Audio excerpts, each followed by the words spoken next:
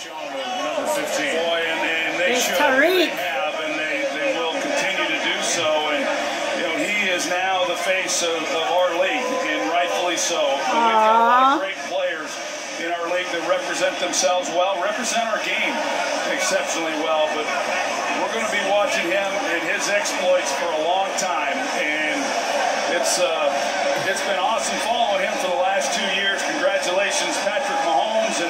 City Chiefs, Andy Reid, the Hunt family. It's been a long time coming, and I know it feels good for everyone. Andy Reid referenced it, so we'll show you some of the faces, give you some of the names.